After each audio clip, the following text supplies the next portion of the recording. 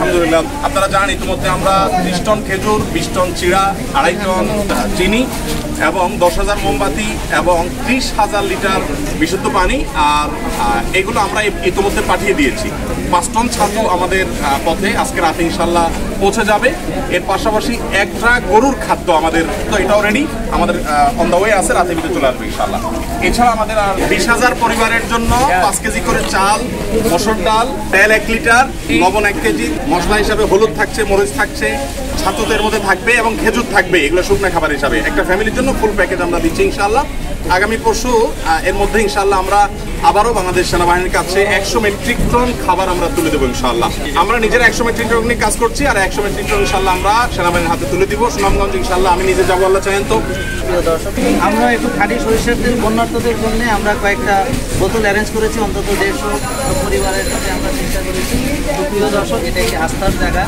এবং আপনারা যা যা সহযোগিতা আপনারা করতে পারেন, আপনারা প্লিজ এখানে নিশ্চিন্তভাবে করতে পারবেন। আমি নিজে সরেজমিনে এসে দেখেন আপনারা এখানে যারা আছি সবাই এক আল্লাহকে ভয় করে আমরা এখানে দেখছি সবাই কাজ করছে। তো এখানে আপনার যে দানটা, সেটা সঠিকভাবে সঠিক লোকের কাছে পৌঁছে যাবে এই বিষয়টা আমি একদম নিশ্চিত। আসসালামু আলাইকুম রহমতুল্লাহ আপনারা দেখতে পাচ্ছেন যে আমার পিছনে বিশাল একটা কর্মযজ্ঞ চলছে।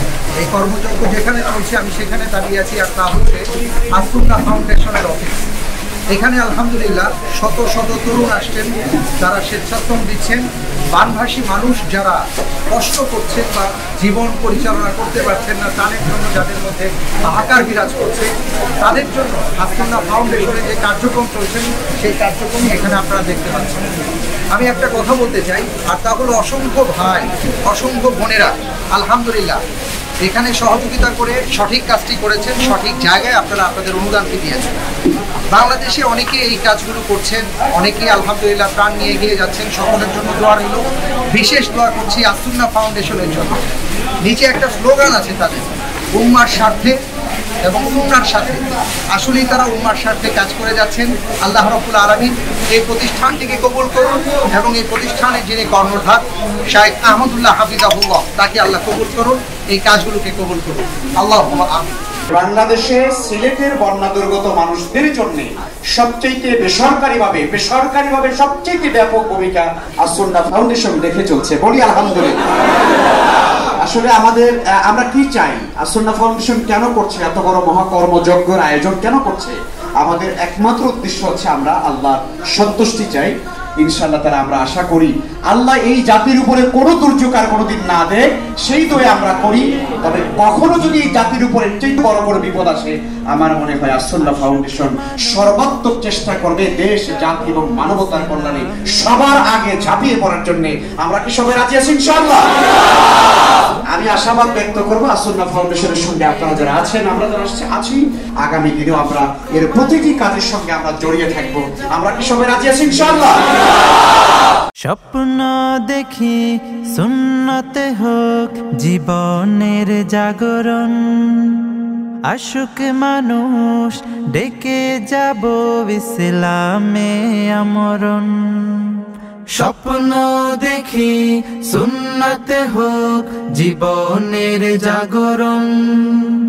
আশুক মানুষ, ডেকে যাব ইসলামে আমরণ। ভুল বেদাত করে দিয়ে দূর, শিরিক বিহীন চাই মানের নূর।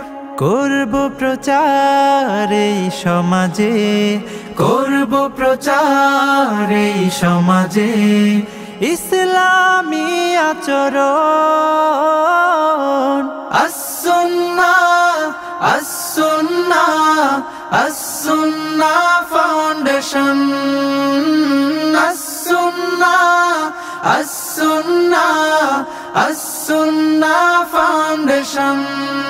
দিন বদলের জ্ঞান শিখিয়ে ডাকবো নীতির পানে।